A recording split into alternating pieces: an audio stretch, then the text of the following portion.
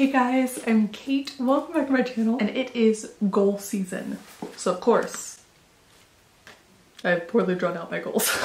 Today I want to talk about my reading and writing goals, um, especially because this year I'm going to be trying something a little bit different where I'm not doing as many number focused goals. We're gonna see how it goes. Obviously, when you don't have an easy comparison point, it can be hard to see how you've grown or if you've achieved those goals. Um, but some of this is just gonna be like vibes, feelings. Do I think I've improved? Yes or no?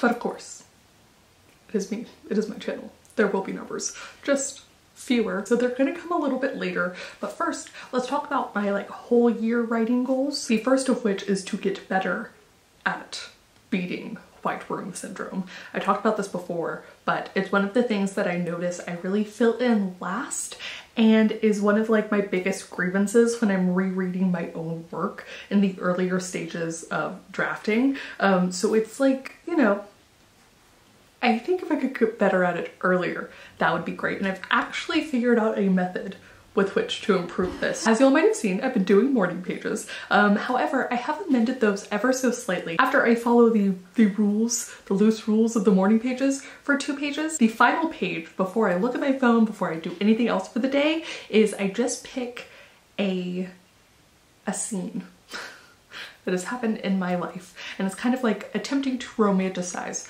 my life with the focus being on describing all the smells, all the sounds, exactly what the room looked like, but in a like, in an artistic way. Yeah. So that's really what I'm focusing on is setting the mood immediately. One page to set the mood and that's it. Um, and it has been really fun.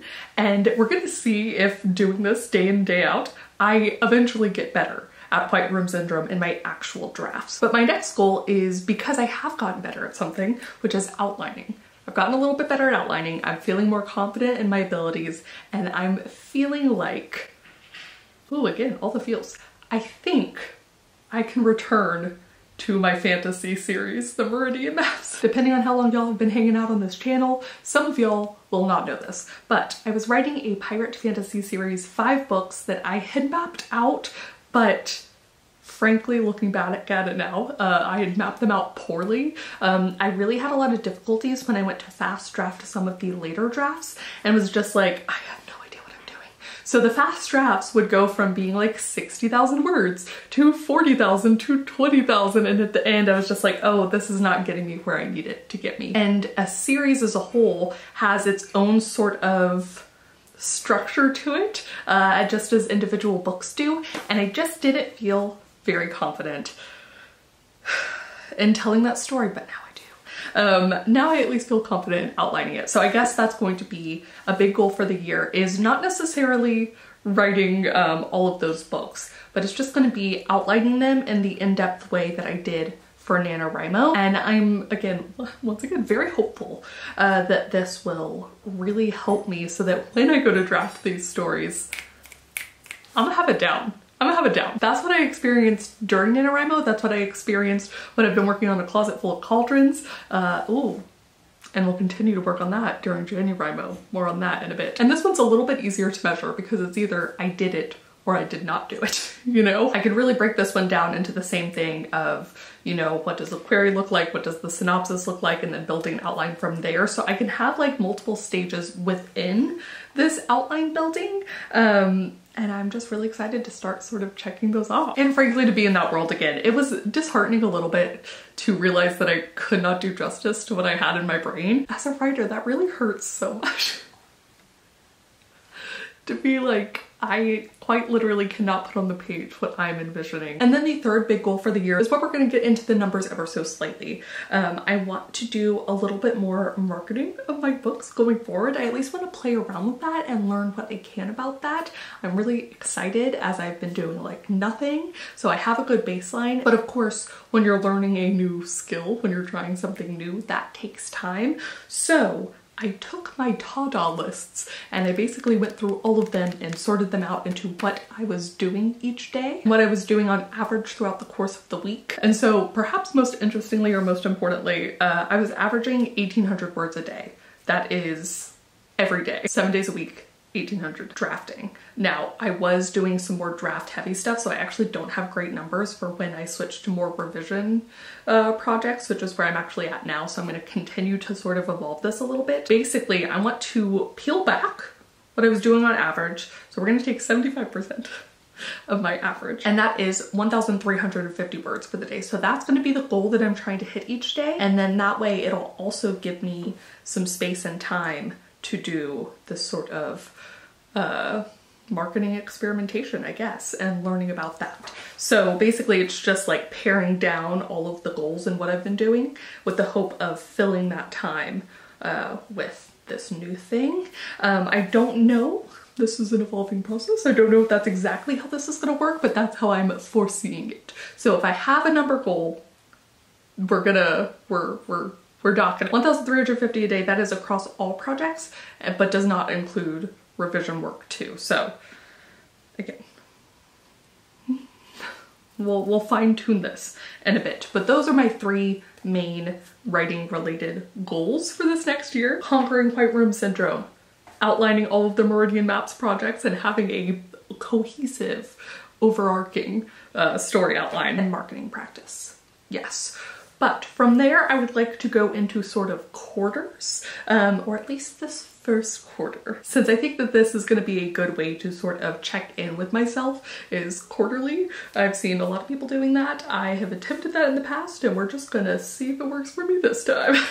2023, I can do it. Some of my uh, quarterly goals are because I've already set some of these with alpha readers and my CPs. So uh, January is JanuWriMo. And so I will be actually continuing a few projects like A Closet Full of Cauldrons, finishing up the revision on Under the Influence, the revision slash draft as I send it to my brother and do that whole alpha reader thing. But A Closet Full of Cauldrons will be my main JanuWriMo project. And then a subset is that Jessica and I, my CP, will be exchanging our drafts again at the end of February. So that means Project Death needs to be ready for Jess by February. So I'll also be working on that. I like to have three projects that I'm juggling and so those are going to be the three throughout January and then they'll shuffle in importance. Priorities are going to shuffle. As I'll be drafting a closet full of cauldrons in January, if there are 22 work days, most of my 1,350 word goals uh, will be in that project. And so that means I'll probably get about halfway through. I already have some words now as I'm filming at the end of December. Mm -hmm. And then it'll be my secondary project in February, Project Death will take the lead and that as I work to get it done, done, done for Jess. For Project Death, I'm really once again working on the back half of the story. I did a decent amount of work up in Michigan uh, with Jess actually during that time. And so I'm also feeling confident that from now to the end of February is doable. And then March, we're going to see the return Painted in Blood Red, which is the cozy mystery that I'd actually worked on uh, at the very end of August that I finished that draft. Um, so I'm gonna try and get that one fully revised and then sent out to some alpha beta readers, hopefully before Camp Nano, um, as I don't think that one actually needs a large overhaul or anything. It was mostly done pretty well, if I do say but actually a lot of fixing the white room syndrome is what I will be doing during that revision. So like this is, all the goals are gonna compound. So those are all of my writing goals overall for the year and then for this first quarter. Um, we're gonna see how that goes and what I need to change for the next quarter or if I'm just going to completely forego the quarterly system and work on monthly or whatever else. You know, one of the interesting uh, things for me is planning at least somewhat by NaNoWriMo or Camp NaNoWriMos. So you have that in April, July, and November. So depending on what projects I want to pick for those nanos could potentially shuffle things. Um, alternatively, this might be one of those years where I have to go back to just kind of shoehorning in the projects that I do during those times. I had so much fun picking a new project for November and getting to roll the die to figure out what it was. Um, and that really just continued the enthusiasm. So maybe it's one of those that for November, I do that again. But for the camps, I can just kind of choose whatever. See? This is, I made sense of all of this. And then my reading goal for this next year, I crushed my reading goal this year. I set a goal of 30 books and I beat that I think before November even started, I wanted to say, uh, which is awesome. So excited. Reading goals for me are ones that can still maintain being really fun, even if I don't win. There's lots of years I've not met my reading goals, but they've always been fun. I know for some people, uh, reading goals feel more pressure than fun, um, but I think I'm really, I'm putting myself on the spot because I didn't decide this ahead of time. Do I go 35 or do I go 40?